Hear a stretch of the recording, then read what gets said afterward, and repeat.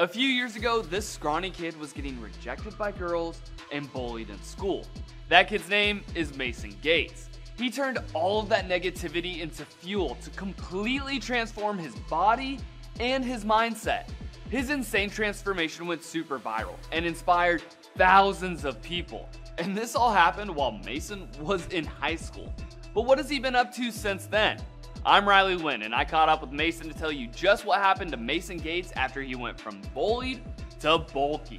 When Mason went viral, it immediately changed his life in more ways than one. Definitely helped me kind of launch my personal brand and, and push myself and my story out there. I remember that day when it happened, like very distinctly. When it had gone up, I was at the gym. I had somebody come up to me at the gym and was like, Hey, is this you? Um, and then my friends were like freaking out. I was freaking out. And uh, yeah, it was like, I that feeling was just really uh, surreal. His results were staggering. But how exactly did Mason put on 55 pounds of muscle in one year? Mason hit the gym every day for 100 days straight for two to three hours a day. Not only did he hit the gym like a maniac, but he also went beast mode in the kitchen too. Mason would eat four to 6,000 calories a day with 200 grams of protein and 500 grams of carbs. And obviously, the time and work he put in paid off. So when I was 92 pounds, um, you know, I was struggling to bench the bar by itself.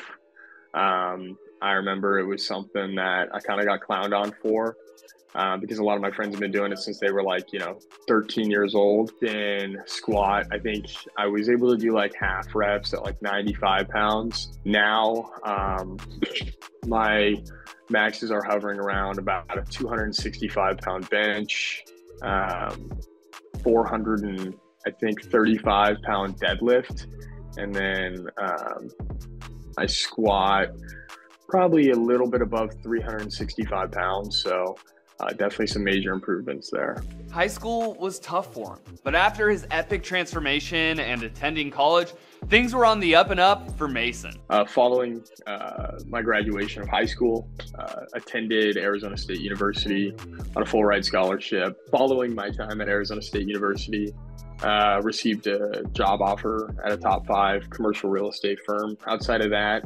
um, I do event videography for like nightclubs, things like that. I film for some pretty cool artists, you know, Kodak Black, French Montana. Uh, Lil Xan isn't really that cool, but I did that. Just like his dedication in the gym, Mason uses that same discipline in his work life too. I get into the office before 6 a.m. I'm out after 6 p.m. And then that's just my day job. And then I edit videos when I go home. I go to the gym. I have a girlfriend. You, have to sacrifice a lot when you're working that hard. But ultimately, if you you know really want to achieve the level of success that's possible, you kind of have to make sacrifices and you have to put in the hours uh, to get to that point. A lot of good has come from Mason Spain, but the one thing that he values the most wasn't the followers or the video views. I think the coolest thing that came from it had to have been the adjustment and attitude for, uh, from the people around me, um, which is a little bit more unique and probably not what you were thinking I was going to say.